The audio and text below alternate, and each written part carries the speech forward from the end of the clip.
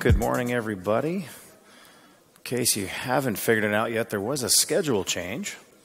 So I'm not the person who is originally supposed to be in this room at this time, but I am the person who's in this room at this time now. So my name is Nate Schutta. I work for Pivotal, as you might tell by my choice in outfit here this morning. I'm part of the advocates team. I speak on architecture, microservices, serverless, things of that nature. Uh, last year, somebody said, You're really an architect as a service because we can get everything as a service these days. And, and I think that's actually a pretty good description of, of what I do, frankly. Although I did sound out the acronym in my head after somebody called me that, and I realized it may not have been meant as a compliment necessarily, but you know, to each their own. Speaking of architecture, I did write a book. Well, I call it a book. My wife calls it a pamphlet. I think she means that lovingly called Thinking Architecturally last year. You can get that from us in e form. Uh, the last time I was at the booth, there were still some paper copies laying around. I don't know if there are any more, but if you swing by our booth, if you'd like to get the very rare dead tree version, please feel free to do so.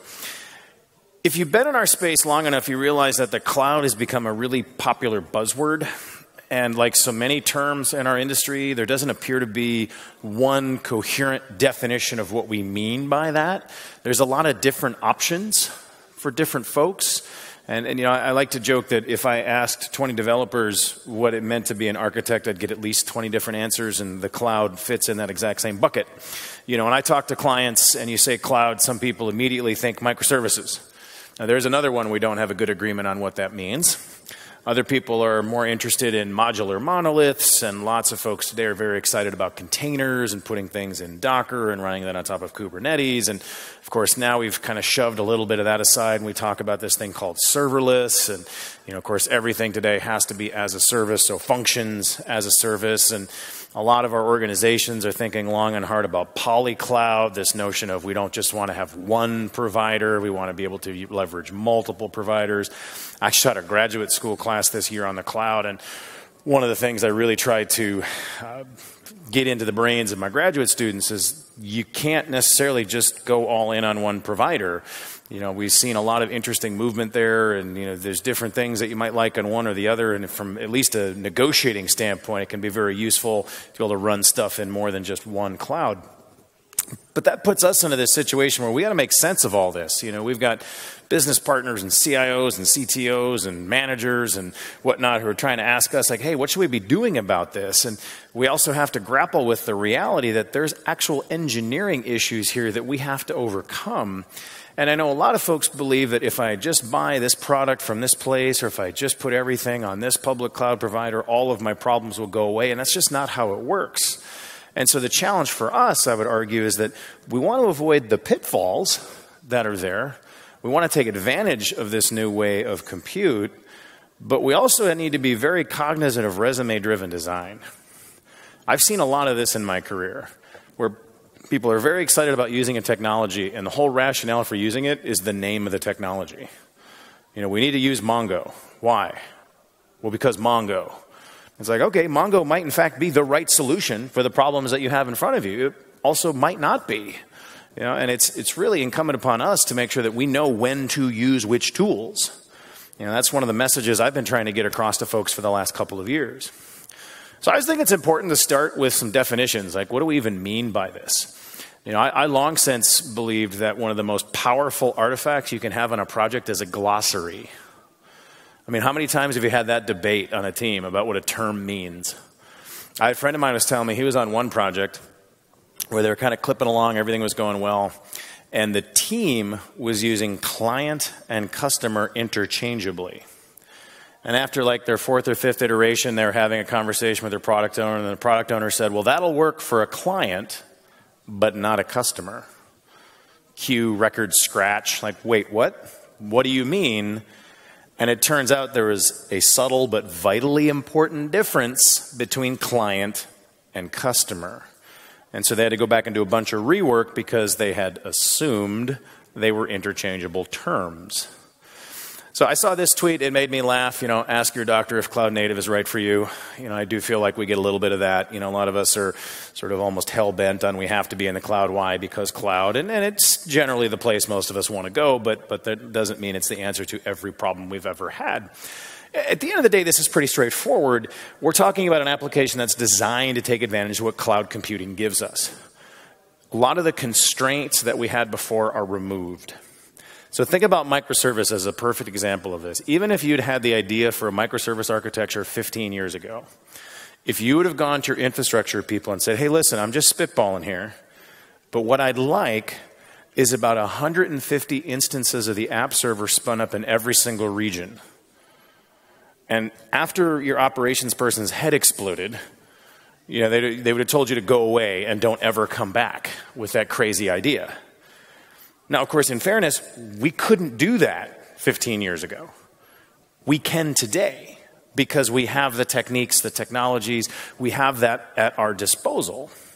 And so, really, what we're talking about with cloud native is what do you mean by how we're building and deploying these applications? Because the cloud gives us some really interesting capabilities that we didn't have in the past.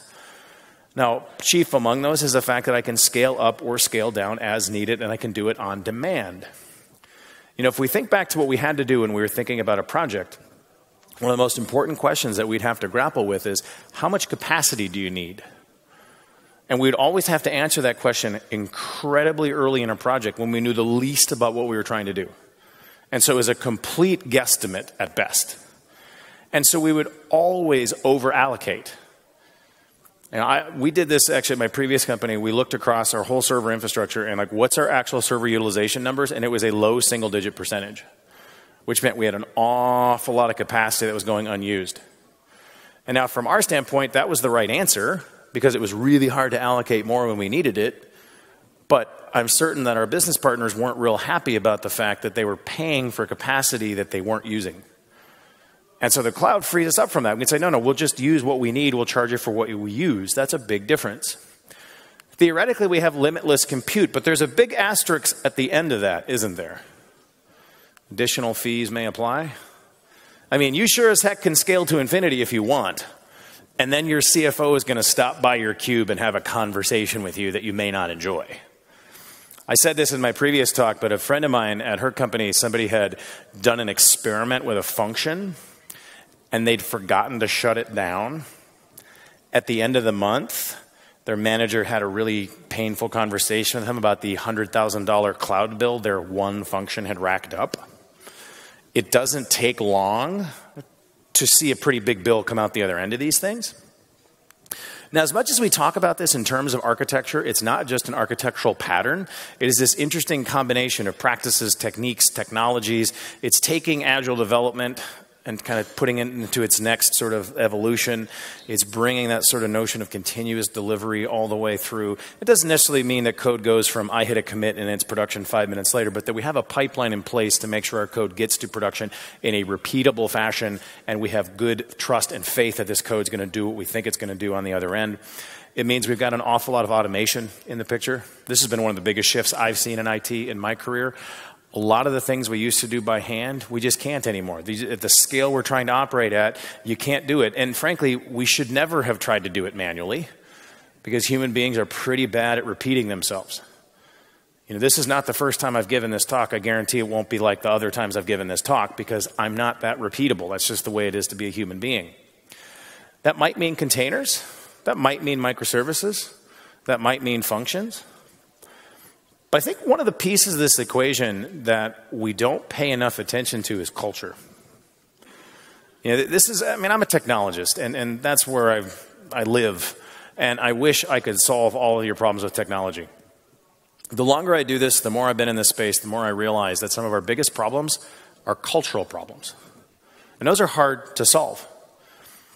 I was with one of my reps last year doing a little tour of some customers in Atlanta and after like our third or fourth stop, we were driving to the next place, and I looked at him and I said, You realize that a huge part of my job is technical marriage counselor. That a lot of what I do when I come in and talk with customers is basically sit at the table and kind of figure out, ah, these two people don't talk to one another. That's our problem. You two need to talk and work it out, hug it out, kumbaya, whatever. Sometimes it's two of you need to go in a room and only one comes out, but there needs to be resolution here. You know, and, and that's one of the things I love about my job is the fact that I can come into an organization and I don't have all the baggage I don't I can ask impertinent questions like why do you do it this way? And it's amazing how often the answer to that is because we've always done it that way. I, I, was working with one customer, and their their issue was the fact that they could no longer finish like their their batch run overnight anymore. It was taking too long, and so they're walking me through the architecture, and, and they're like, "Yeah, we process each of these widgets sequentially," and then I'm like, "Well, hang on, do you have to process them sequentially? Like, does the result of widget A feed into widget B? No, no, not at all. So you could do them in parallel? They're like, oh, we never thought of that. Now, I don't think that I'm particularly brilliant for having seen that. It's just I didn't have the expectation of, well, that's how we've always done it. And we, we get that way. We can get myopic. We're like, but we have to solve it this way because this is how we've always solved it. And that's one of the advantages of bringing in a fresh set of eyes is to say, hey, wait, did you look at the problem this way? Now, culture is hard to change. Culture is one of those things that gets set very early on in a company's, company's existence. You hire, attract, retain based around culture. I mean, let's be brutally honest. When we talk about interviews, what we're really looking for is are you a good cultural fit? I can teach you the skills you need. That part's pretty easy. Do you fit with us? Do we fit with you? Is a much harder thing to figure out sometimes. It's going to mean some DevOps in some way, shape, or form, and maybe that's using kind of the new SRE phrasing. Maybe that's just bringing that to the forefront. You know, I, I saw that shift in my previous company from you know them being completely separate organization to having a DevOps team and, and having them be you know partners with us as we try to build applications. And what's been really interesting to me, and I talked a lot about this in the previous session, is just to see this shift in infrastructure. You know, I mean, I remember when I first started in IT we handcrafted our servers. I mean, we literally like ordered the parts. You know, we're soldering things together, pushing, you know, chips down on motherboards. And it was a very bespoke artisanal approach, which is great for, you know, your lunch or for a coffee or something like that. I don't want that in infrastructure though. And what was interesting is the more time you put into something, the more invested you are in it and the more resistant you are to change. And so when you spend days handcrafting servers, you begin to consider them members of the family. You start treating them like pets. For example, these are my pets. This is Han and Chewie. These are my cats. I am convinced that were Han or Chewie to develop so much as a sniffle, my son and my wife would implore me to spend virtually unlimited amounts of money making them happy and healthy because they're members of the family and they kind of run the house. I mean, I, I, I think I told this story earlier today, but if, if I could be any other kind of animal, like if I couldn't be, if I had to not be a human and could choose what animal, I'd want to be a house cat. I mean, this is a good gig. A lot of sleeping. You know, we were joking, like, you know, our watches today will, will give you like your rings. You got to fill your rings, you know, get your steps in. And, and I, we were joking one day that, you know, the cats have that same thing, except it's not about like movement, it's about like sleeping and, and like eating. You know, their rings are very different than ours. Now, the moral of the story is those servers that we created 15, 20 years ago, we would do whatever it took to keep them happy and healthy.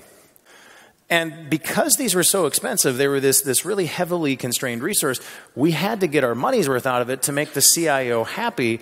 And in order to do that, we created this thing called an app server, where we were incented to put as many apps as possible on top of that one piece of hardware because that maximizes our return on investment. Now, anyone who has built software in this era knows that there are some really unfortunate unintended side effects here. Because once we have shared resources, if your application has a bug, you can take my application down. All of a sudden, coordinating changes becomes much, much harder. If you've ever been in your organization you're like, I'd really like to move to the next version of Java, and you were told, no, I'm sorry, you can't, because we have to wait until our oldest app is ready, that slows everybody down. That's no fun. And this is why currency has typically been this thing that we don't really want to talk about. Just keep kicking the proverbial can down the street. Hopefully, someone else will be responsible for solving it in the future, but not us. And this is fundamentally why so many of our organizations completely ignored currency because it was a really hard problem to solve. Yeah, I, I remember going through this. You guys remember when we finally killed Windows XP? That was a good day. It really was. I mean, I, I, I, I lasted on that much longer than I ever intended to. And I remember finally being at my company and we were finally moving off of it. And I was blown away by how many of the application areas were fighting tooth and nail to retain things from the old version. I had one application get very upset with me because Microsoft, now Microsoft, not us, Microsoft had changed one of their fonts. And so these guys were using that as the reason why they couldn't accept the new image. And I'm just like, you've got to be kidding me. Right? Now, that made me think about Star Wars. A lot of things make me think about Star Wars. I'm a Star Wars fan. I'm excited to see the end of the trilogy coming up here this December. But I love this Yoda quote Fear is the path to the dark side. Fear leads to anger. Anger leads to hate. Hate leads to suffering. And I thought, you know, this is what enterprise IT's been for a lot of us. I mean, this is Yoda ops. And I think about what we've traditionally done during this era of compute. And what do we have to do? we would move our code, our application code, from one instance of one app server to another instance of another app server running somewhere else, and we would just expect it all to work. Why? My favorite, of course, is throughout this period, at least certainly from my experience, I wrote code on one operating system and deployed it to a very different operating system. And then again, we were shocked when something didn't work. My friend actually had a sticker made up that said, Works on my box. And if you uttered that in a meeting, he would slap one of those on your laptop. And he did not mean it as a badge of honor. This was something to shame people. But every one of us has had the experience of, well, it worked in dev, but not in test, or it worked in test, but not in maint, or it worked in maint, but not in prod. And you would inevitably start pounding your head against the table trying to figure out why. Because your operations people insisted the environments are identical, except clearly they're not there's something different. What's different? And you would spend days, weeks trying to track down what was the little bit of thing that wasn't quite the same. This happened to me on one project. We wasted two weeks tracking down the difference, and it turns out the difference was the order the patches were applied in. Right? I mean, how do you, how do you see that? This is literally where you start to think there has to be a better way to make a living you know, poor set of life choices have brought me here. You know, maybe I should get into like, you know, electrician or plumbing or something like that. There has to be a better way to make a living than this. Now, we've seen a big shift recently, though. We finally figured out that servers are commodities. And instead of buying this proprietary hardware with proprietary operating systems, we're going to use this off the shelf stuff. We're going to use Linux, we're going to use Intel, which of course leads to this. This is one of my, my favorite cartoons. Dad, what are clouds made of? Linux servers mostly. It's the truth. You can always tell what profession someone's in by how they answer a question like that. Now, unsurprisingly, prices started to drop when we did this. And we figured out pretty quickly that servers are not, in fact, the constraining factor in this world. It's actually people costs and people time. And a whole new version of compute started popping up with Heroku and AWS and App Engine and Cloud Foundry and Azure. And we realized pretty quickly that these shared servers are actually a liability.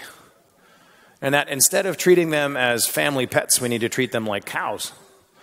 And if you've ever been on a large cattle operation, you realize they do not name the cows, they give them numbers.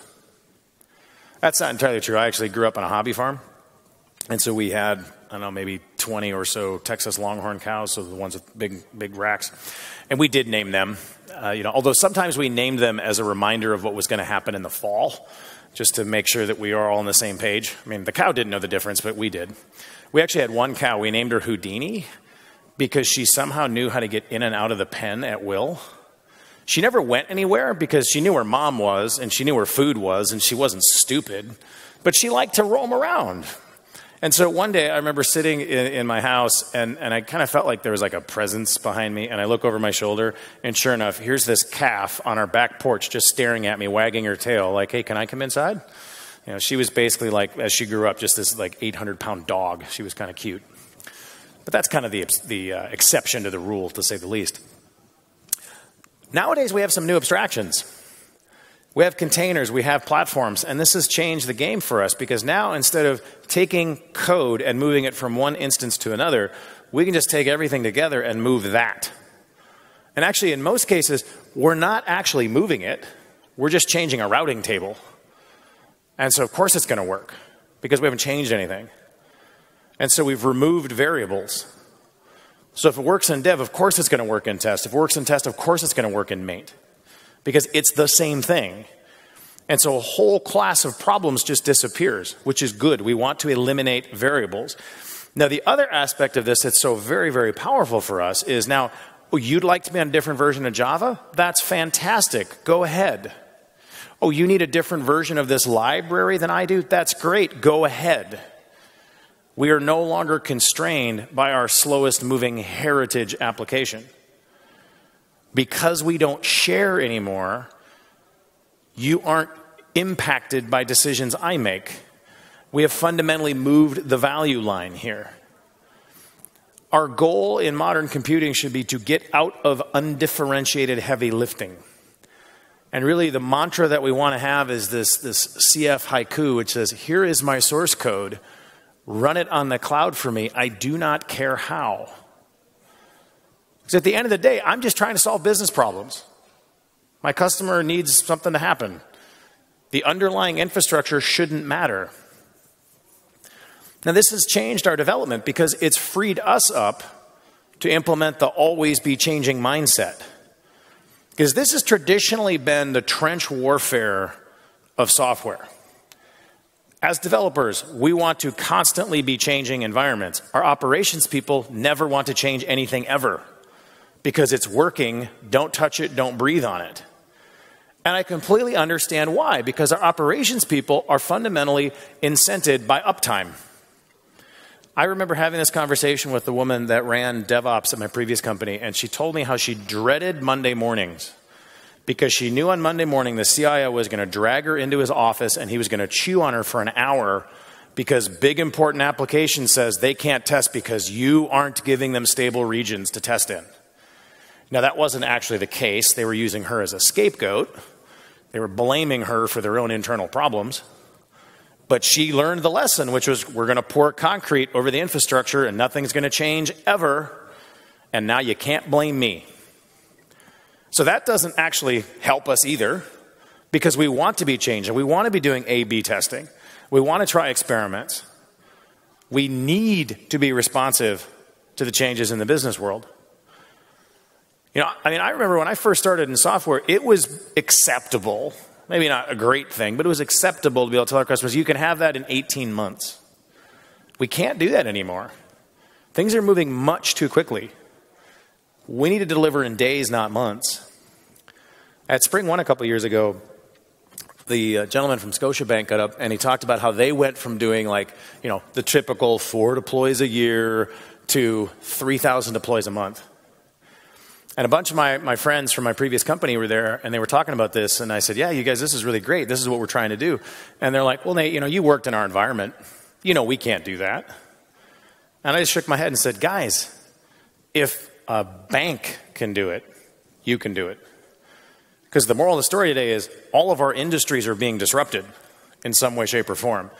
And what we're learning now is speed matters so very much because every industry is being impacted.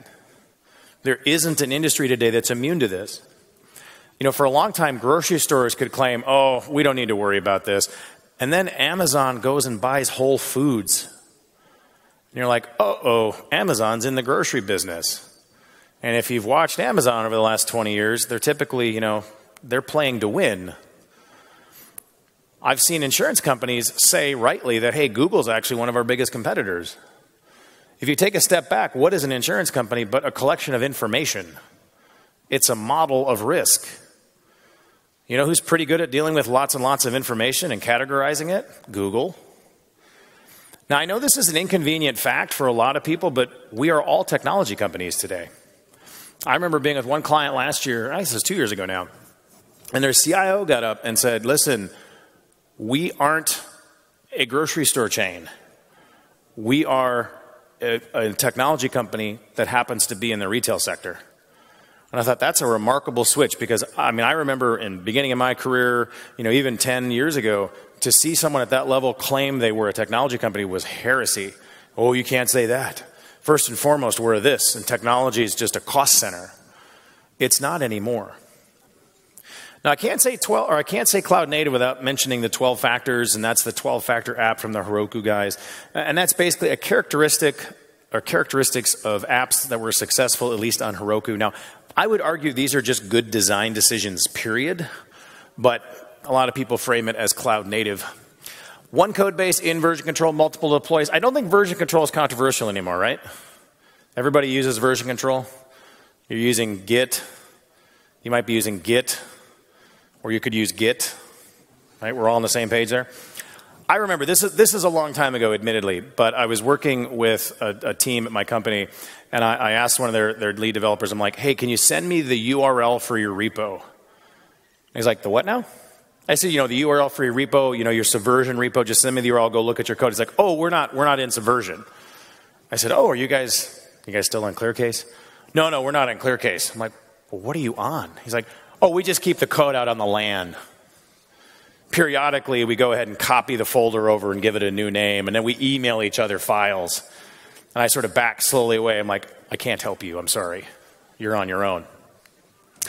We need to explicitly define our dependencies. This one can be really hard because we haven't traditionally had to do that. If you've ever looked in the bin folder in a project, you see a bazillion things. Frankly, if you've ever done like an npm install, you've downloaded like a third of the internet and you're like, why do we need this? I don't know, but it works, so don't ask any silly questions. I'm convinced NPM exists as a distributed backup of the internet. Right? We can recreate the internet just with the people in this room right now because we've done enough NPM installs. We need to separate our configuration from the code. Our, our, backing services have to be treated like an attached resource. We want to have this build, release, run pipeline concept. We need to be stateless. This is a hard one.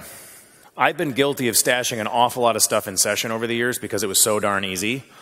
And even when we first started doing this on like the very first web app I ever ran into, it works great right up until you have to start load balancing.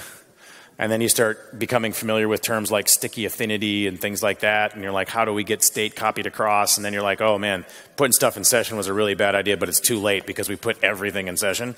Yeah, that's a problem in the cloud because I'm going to blow this instance away and recreate it. And so all of that's gone. So you can't rely on sort of that debris being left behind.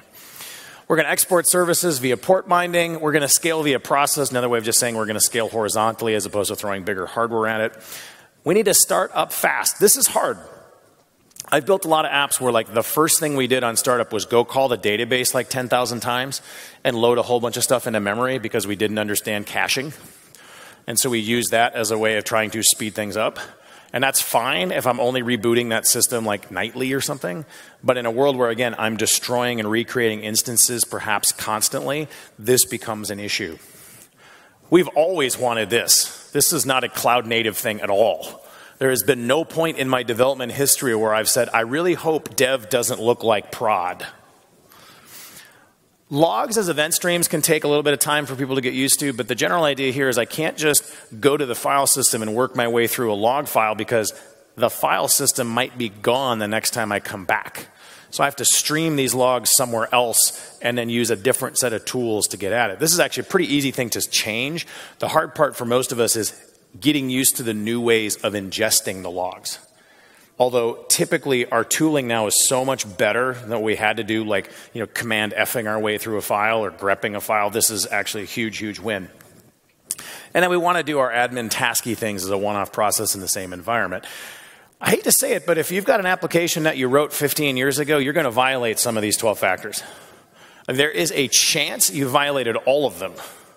It's unlikely, but it's possible. Now, on the off chance that you managed to create an application that didn't violate any of these, you, you wrote a cloud native application before there was such thing as cloud native, I want to have a chat with you, but not about technology. I'd like to talk about your thoughts on the stock market. Where should I be investing my money? What companies are going to be worth more in a year? And I'm pretty sure you've got some thoughts on some sporting events as well. I'd like to help you have you help me place some bets. I think that'd be useful. Better way to monetize your gift. In general, the things that I've seen time and time again, the explicitly defining your dependencies is hard. This is a bit of a challenge. Because in so many of our applications, you throw a library in there and you're like, it works, don't touch it, don't breathe on it. And I get that. I understand that but we need to think long and hard. Is this really something we need? I've seen applications that were written expecting other apps to be installed in the same context. That doesn't work here, obviously. So if you need that library, if you need that DLL, you need to explicitly define it. Separating out configuration can be difficult as well. It's very easy to have a hard coded credential. It's very easy to have a hard coded database connection. So the typical mantra here is pretend you're going to open source your application tomorrow. And what would you need to pull out of the app to make sure you could do that safely? We don't want to share anything. Again, this can be a bit of a challenge. I've seen, I've written applications that were designed around a specific page flow. You go here and then you go there and you go somewhere else, and you're leaving little breadcrumbs behind for the next pages. Again, we've all had that mantra just put it in session, and that fails in this environment because, again, session won't be there when we come back. It has to be in something durable. We need to start up fast, we need to shut down fast again, I've been guilty of building applications that take minutes to start up. That doesn't work in this environment because whatever you're using to orchestrate these, these applications, if you say, I need five instances of this running at all times, and your orchestrator notices there's only four, it's going to spin up another one. And part of that is a health check to say, are you ready to receive traffic? And so it's going to ask the new instance, are you healthy? Are you running? Oh, you're not? Okay. All right, how about now? Oh, you're not? Oh, you must not be healthy. Let me spin up another one. And that cycle continues until you've exhausted all of your resources and your CFO comes and has a chat with you about your cloud bill. We obviously have always wanted dev prod parity. We need consistency between these regions because it's all about shortening code to prod. That's actually a really good mental exercise. How long would it take for you to get a code change from my customer wants this to it's running in production? Is that measured in days, weeks, months? And to make it really interesting, do the simplest change possible. Do like a CSS change. My customer wants a slightly different shade of purple. How long does that take to roll through? We've all uttered this phrase at one point or another again. We need consistency across our regions. Now, I've had some people tell me that in order to go to the cloud, I need to be fully 12 factor compliant. That is not, in fact, the case. If you can get there, great, go forth and do it. But I'm sorry, we live in the real world and you need to be ruthlessly pragmatic. Now, understand that certain things, if you don't actually work, they're going to lessen the advantages you get out of being in the cloud. If you have long startup time, it's really hard to do self healing, it's really hard to scale. I like to think of this fundamentally as a continuum. You know, so if we sort of have that basic idea of, you know, I've got my sort of 12 factor compliance, the further I get down that path, the better my application has, you know, got some better factors, but I don't have to go all the way there. Now, you'll hear some people talk about 15 factors, you'll hear some people talk about beyond the 12 factors. However, you define it, the moral of the story is if you want to maximize what the cloud gives us, the applications have to be designed to take advantage of that. Again, heritage applications, legacy applications will fall short. That's okay. You know, I, I, we always have this very negative view of an application that's been around for like 5, 10, 15 years.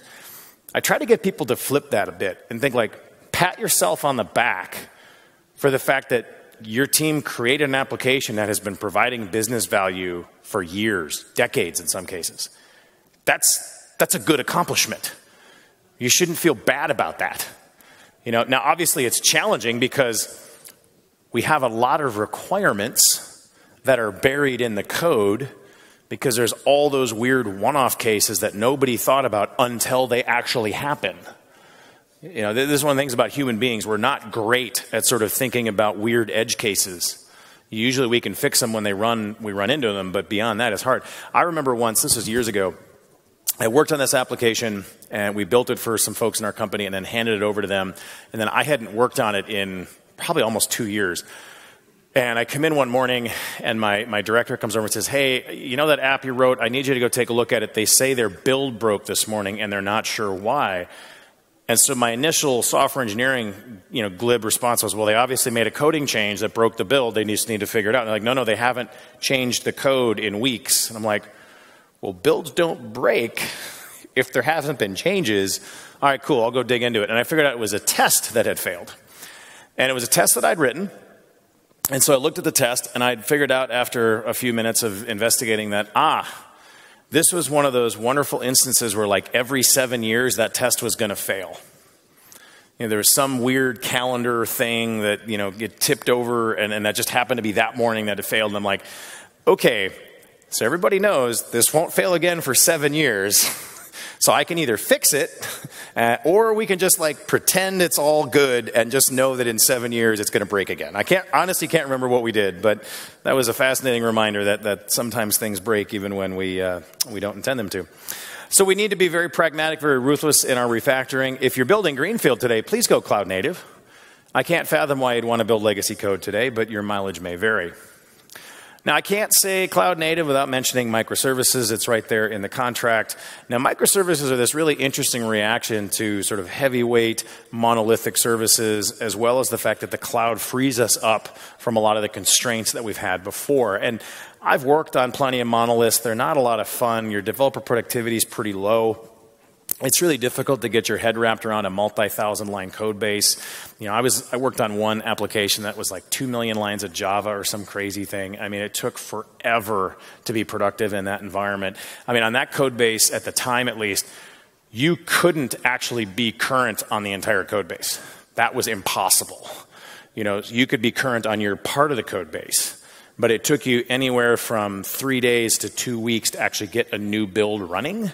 And so once you did, you basically didn't touch the parts you weren't messing with. You only worried about your aspect of it, which meant there were a lot of build breaks because there was lots of unintended side effects of changes. Now, the challenge of that is when you've got these big ramps for new developers, it's hard to get productive. You know, on that application, the sort of conventional wisdom was it took you a year to be productive in that environment. You, know, you think about a lot of companies that, that you've probably worked at or applications you've worked on, there's like an 80 page getting started guide and several steps in it or then go talk to Kathy and like then go talk to Steve. In fact, I was embedded in somebody's getting started guide for like three years. I'd, I'd been on the application early and then rolled off. And so for like three years, I kept getting phone calls at random intervals saying, Hi, I'm at the part of the app setup where it says I call you. And I'm like, Great. And of course, I didn't have rights to change it. They, they pulled that, but you know, so I, I finally got out of their, their startup guide when one of my friends was on the project and he called me and he's like, dude, why am I calling you? You haven't worked on this in three years. I'm like, I know, but I can't change their guide anymore. I don't have rights to it. And he says, I'll update it. I'm like, thank you. So then I finally got removed. Now, of course, if you've been on these applications, you know that one small change means I have to rebuild everything. That's not a lot of fun. I remember working on one application where my tester said, if you want me to do a full regression test, that's 80 hours. I'm like, oh, okay. Well, that could be a problem. And so it forced us to work in bigger steps than we'd like to, honestly. Small or scaling meant I had to scale the entire thing. That was not a lot of fun. You know, in a perfect world, we would just scale the part of the app that needed it. We couldn't do that in these monoliths. They're really difficult to evolve. At some point in your schooling, you learned about the second law of thermodynamics, otherwise known as a teenager's bedroom. The universe wants to be disordered you do your best to keep it clean, it's not going to last. I mean, I try. I try to keep my desk at home clean, but here's what happens. I'm going to come home from this trip. I'm basically going to dump out my backpack, a whole bunch of receipts are going to go all over my desk. I'm going to get a nasty gram from my expense system that says, go do your expenses. I'll do my expenses and, and put everything away, and it'll be clean until I get home from the next trip. Nature of the beast. Software is not immune from this. Every one of you has been on a new project, and you've uttered some variant of, this time, we're going to do it right. We're going to keep the packages clean. We're not going to cross the streams. And then six months later, you're like, why did we do this? Why have we devolved to this? Because modularity breaks down. It takes longer and longer to add new features. And so this fundamentally gave birth to this new architectural style, aka the microservice. Now, there is no one definition. This is very much, you'll know it when you see it which leads to one of my all time favorite tweets, is actually from my boss, who wants to argue about the definitions of made up words with me. We do a lot of that in this industry. We make up a new word and then we argue about what that word means. Now, I'm kind of partial to the anything that can be rewritten in two weeks or less because that reminds us these things are supposed to be small. I've had some people argue it's anything that can be written by a two pizza team. I don't find that a particularly satisfying definition, though. Because first and foremost, you know, we're, we're coming into the lunch hour here.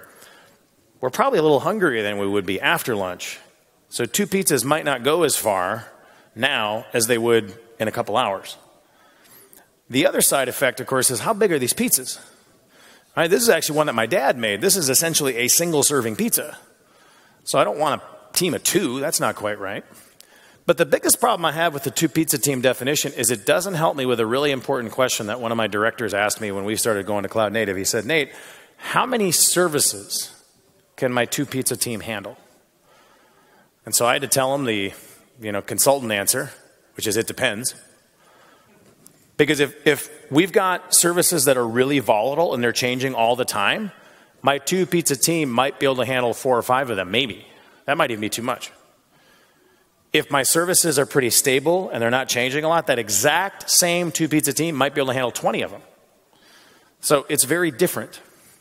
I think it's more important to think in terms of characteristics, small focused services, do one thing, do it well. It's basically that Linux concept, that Unix concept of have a tool that does one thing, pipe them together to get more complicated results out the other end. Things that can be independently deployed, independently scaled, things that can evolve at different rates.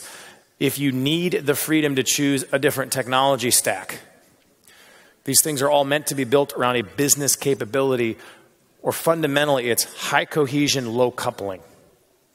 This is the zeroth law of software engineering right here.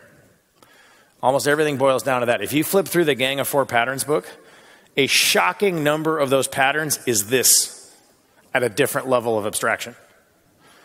So, uh, the way I look at it is microservices is high cohesion, low coupling applied to services.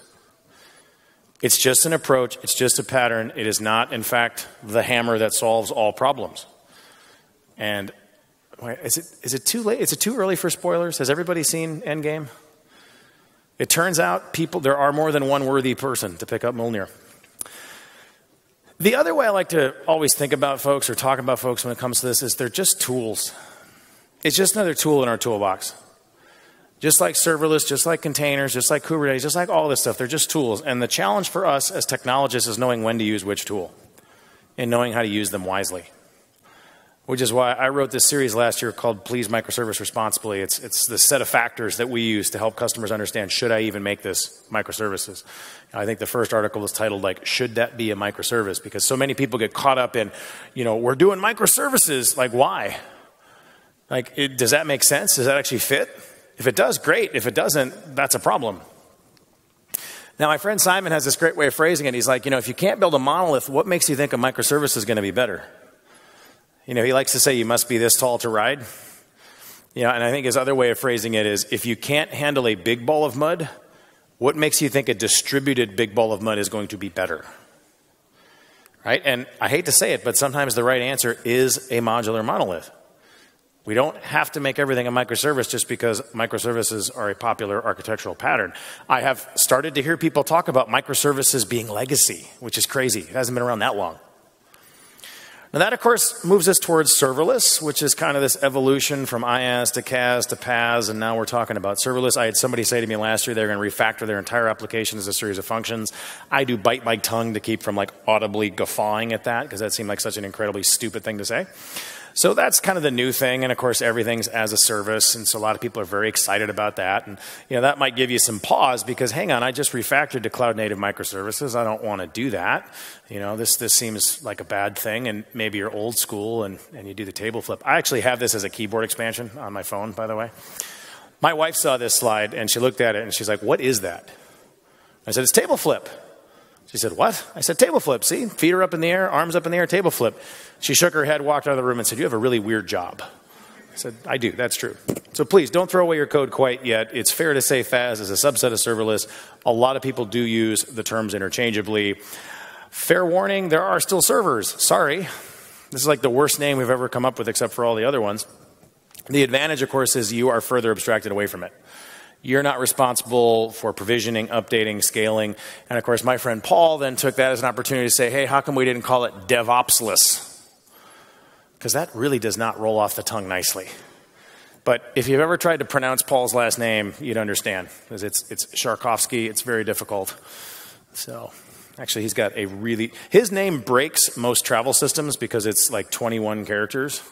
And apparently, most travel systems cut off at 20 which is fascinating to me to see like it's interesting as a software engineer to see how various technical decisions leak through and you're like oh i know what kind of database you're using under the covers isn't that funny so we don't have to worry about it somebody else does which of course it's fair to say but we have to patch all of these things, right? I mean, this is something Sam brought up last year, and, and he's not wrong.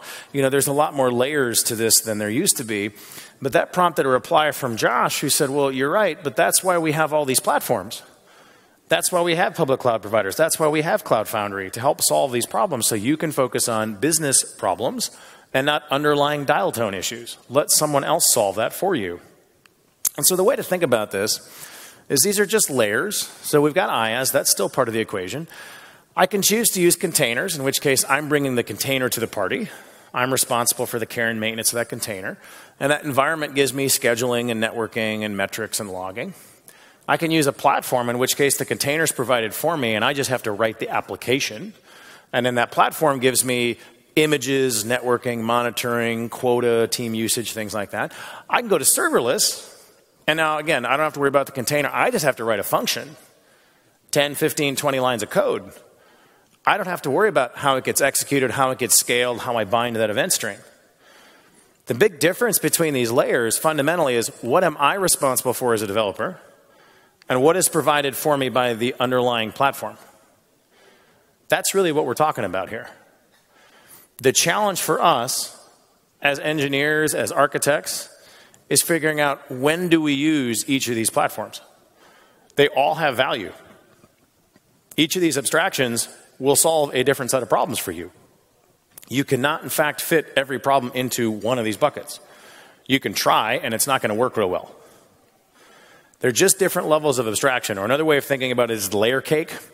So we've got hardware at the bottom. There's still hardware. Whether or not you own it is another question. IaaS provisions that hardware. You can use containers on top of that. You can use a platform on top of that, or you can use serverless on top of that. Now, the further down the hierarchy we go, the more flexibility I have. If I'm installing my own hardware, I get exactly what I want. But I'm also responsible for the care and feeding of that hardware. The further up the abstraction hierarchy I go, I'm more constrained.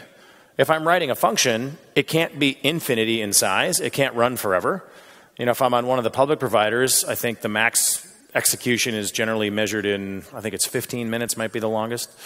And I don't get unlimited memory, unlimited size. I'm constrained. But I got a lot less to worry about. I just write some code and I don't have to worry about a whole bunch of other problems. The general advice that we try to give people is push as many workloads as far up the stack as you can realizing that not everything fits in each bucket.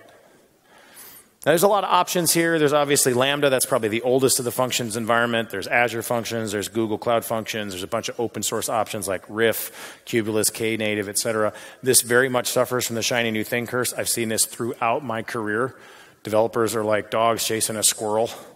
You know, it's like, ooh, new technology. Oh, Mongo. Oh, Kubernetes. Oh, blockchain. You know, we just run after it. I don't know what's cause and effect. I'm, I'm, not sure if we get into this industry because we have short attention spans or being in this industry gives you a short attention span, but that does seem to come with the job. So we have to be very careful with that.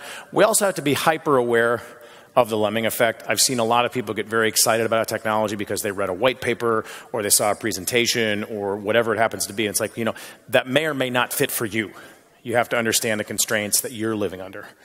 But there are some very good reasons to use this approach. It's not just a new magic way to cloud. There's some pretty good efficiency gains. From a development perspective, we're up that abstraction curve so I can focus more on just solving that business problem and less on the underlying dial tone. You know, I always like to kind of quiz developers like, you know, do you know what operating system you're running on? More importantly, do you care? You know, we need to think about the stuff that we should care about. And for most of us, that's solving business problems, not worrying about the dial tone. And so, again, that gets us into thinking about the value line.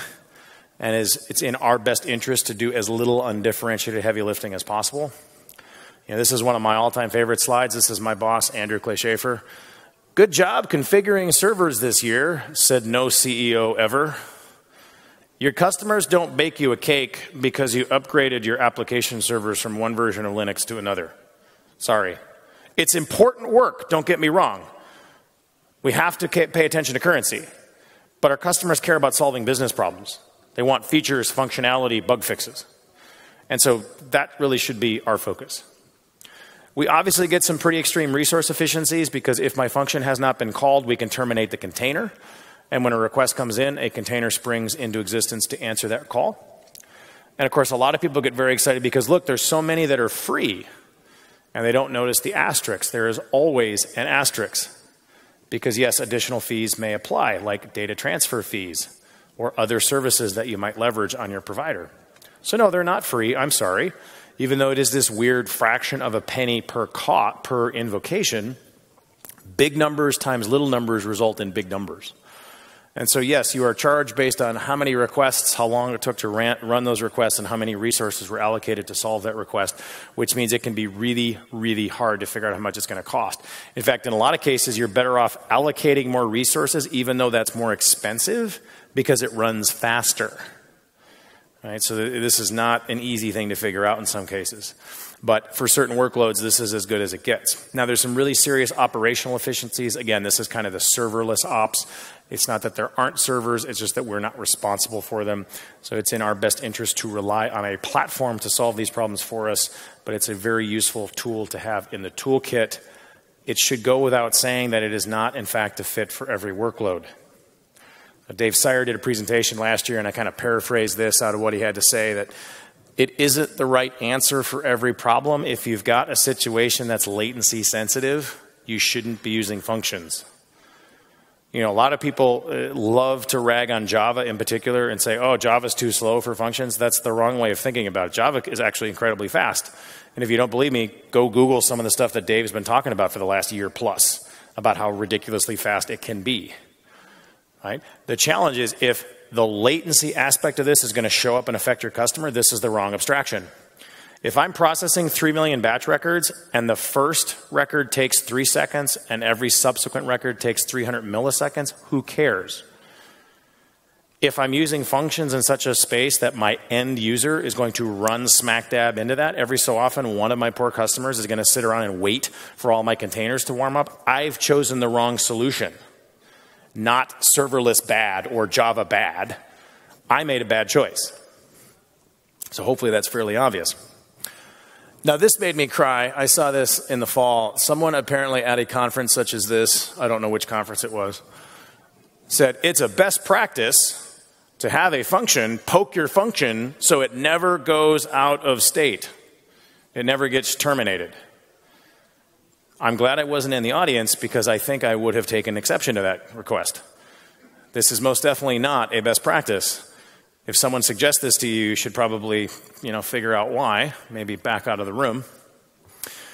So how do we get to this cloud native nirvana that everybody talks about? Well, I've done this in my previous company. And of course, step 1 is where are you today? So you're going to have to assess your portfolio. You're going to have to look across your applications and get a sense of where you're at.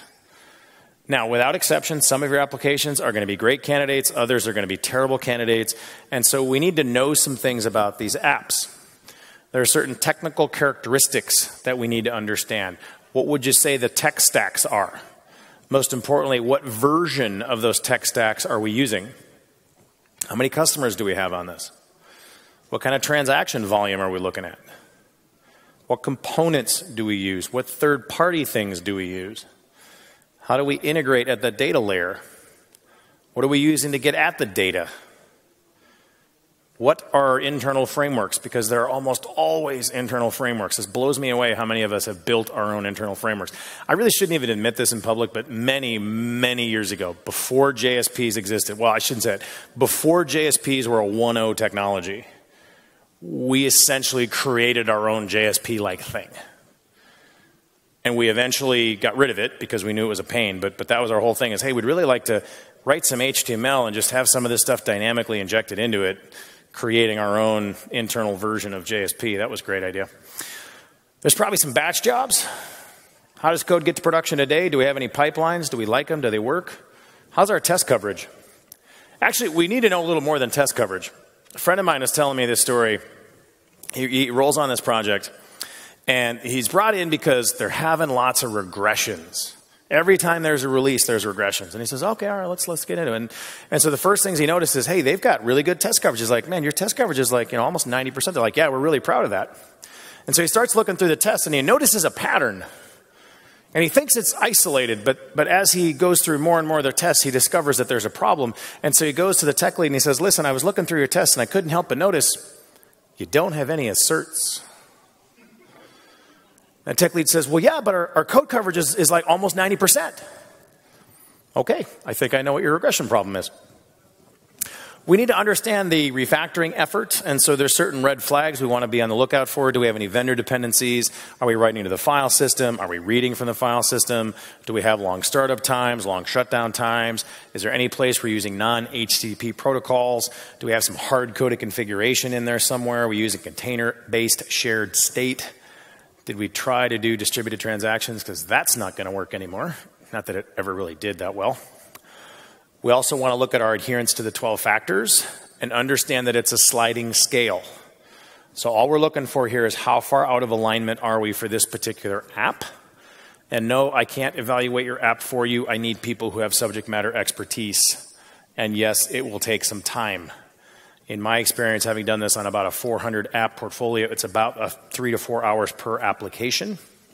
I strongly advise you to build a little tool to store all this data in Excel is not an application platform. Please do not put this in Excel because here's what's going to happen. A senior director is going to ask you for a question that could be answered with a SQL statement, and it's unanswerable in Excel without a significant amount of pain. Now, luckily for me, one of my friends is an Excel wizard, and so he built a bunch of macros for me. Otherwise, I would probably literally still be trying to comb through this data to answer basic questions like how many applications violate this factor? Now, if you've only got 10 applications, it's fine, but if you've got anything in a normal enterprise, this is not going to work. You're going to end up with a bucket here of, of applications, you know, low, medium, high, red, yellow, green, whatever you want to call it, whatever works for you. The cutoffs here are going to be pretty arbitrary. That's okay. You're going to want to do a bit of a sanity check. Does this feel about right? Really important that you consider business value of the application. This will help you pick good candidates. You also need to understand the life cycle of the application. Or, in other words, is this strategic? Is this something we're going to invest in, or is it going to be retired at the end of the year? Understand that retirement is an interesting question if someone says, don't worry about this app, we're going to retire it, your very next question needs to be when. So I was working with some of our architects on this, and someone said, hey, yeah, I have an app like that. I was told when I started here, this app was marked sunset. I'm still working on that application today. I said, how long ago did you start? 25 years ago. This happens all the time. So if it's going away in three months or six months, fine. It's probably not worth the effort. If it's going to be around for the next five years, it is. Now we need to do some planning. What's our desired end state? Are we trying to get to cloud native? That's a lot more work. Are we just trying to forklift it into the cloud? Your legacy applications are going to require a certain amount of refactoring, which does lead to this magic question how long will that take? There's only one answer I can give you that's accurate. It depends. Now, I can tell you from experience that if you do a few pilots, you're going to get a feel for it. And you can start to get an understanding that, okay, for this factor, it takes us about this long to fix it. That won't be universal and it doesn't transfer necessarily from one company to another. But within your portfolio, you can generally get a rough idea of how long it's going to take to make that transition. In my experience, and you can take it with a grain of salt, it was a few weeks per app, roughly. Not months, not days, measured in weeks. Right Now, there are people who do this for a living, so don't be afraid to talk to them. I'm a big fan of having a lab like thing where you have people that do this day in, day out. It's important that teams pair with these folks. It shouldn't just be a here, I hand you the app, you hand it back to me running. We should be working together on this because we want to ultimately build these skills across our company. You want to create a roadmap so that we have a sense of when would you say our applications can move? And it's important to understand it doesn't always have to be the entire app. So, one of the big challenges we faced in my previous company is from the senior VP level, the portfolio was 400 applications. When you start working with the teams, you realize that this one application to them is 15 modules. And then as you break that down into microservices, it's not 15 anymore, it's 45 or 100. But yet the VP still wants to think about it as one application. And so we had to actually kind of like invent a new term. We called them like deployable units, which was as good as we could come up with. We're not terribly creative. And so some are going to be easier to move than others. That's okay. Move what you can. Watch out for the terminology. Be opportunistic in what you migrate, opportunistic of what you refactor, but you want a rough idea of when you can make it move. That may or may not satisfy your stakeholders. you might have to bring in additional help to make it happen. I wish you luck. Well, folks, it is lunchtime. I'm going to shut up at this point. If you have comments or questions, I will be hanging around for the next couple hours. Thank you so much for your time and attention. Cheers.